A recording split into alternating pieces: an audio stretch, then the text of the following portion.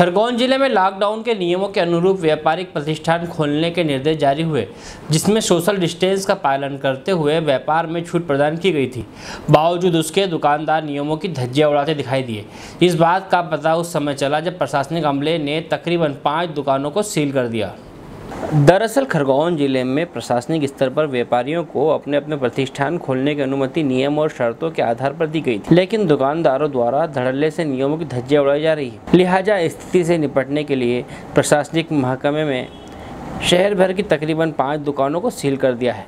इस दौरान प्रशासनिक अधिकारियों ने मीडिया से रूबरू होकर बताया कि दुकानदार बिना मास्क और सैनिटाइजर से दुकान का संचालन कर रहे थे, जहाँ सोशल डिस्टेंस का उल्लंघन किया गया। जिसके चलते दुकानों को सात दिन के लिए सील किया गया है। खरगोन से अजय तिवारी की रिपोर्ट।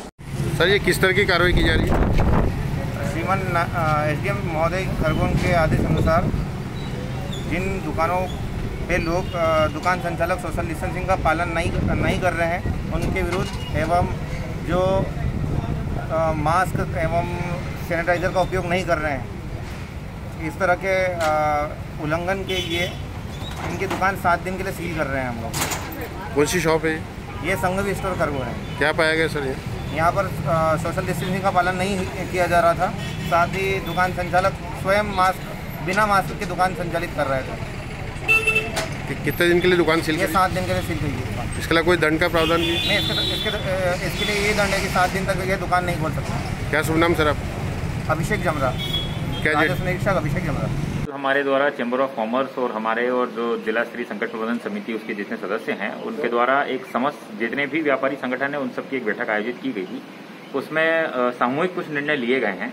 तो कुछ तो उसमें फिक्स पॉइंट बनाए गए हैं, जैसे कि मास्क लगाना सोशल डिस्टेंसिंग का पालन, यानी पाँच से अधिक लोग नहीं होना, अपनी दुकान में सैनिटाइजर रख, रखना। तो इस तरह की कुछ चीज़ें हैं जो अनिवार्य की गई है। अगर इनका कोई पालन नहीं करता है तो दुकान को सात दिवस के लिए बंद कर दी जाएगी। यानी एक सजा कम या ज़्यादा किसी के लिए नहीं रहेगी। अगर गुरुवार को बंद की तो गुरुवार को वो खोली जाएगी। इस प्रकार से कुछ निर्णय लिए गए इसके अलावा और कुछ अच्छे सुझाव सामने आए हैं कि अलग अलग बाज़ार क्षेत्र के हिसाब से पाँच पाँच बाज़ार व्यवस्थापक जो है दुकानों के माध्यम से ही जो है बनाने का प्रयास कर रहे हैं। और साथ में जो है सैनिटाइजर के लिए अलग अलग एंट्री एग्जिट के लिए, कुछ जो है हेल्थ चेकअप करने के लिए, इन सब के लिए व्यवस्था करने के लिए निर्देश दिए बैंक को सर नोटिस दिया गया था। कल बैंक ऑफ़ बड़ौदा में बहुत बड़ी संख्या में भीड़ देखने के लिए मिली थी तो उसको नोटिस देकर जवाब जवाब लिया गया है। आज उसका जवाब प्राप्त हुआ है अब आगे की कार्रवाई करेंगे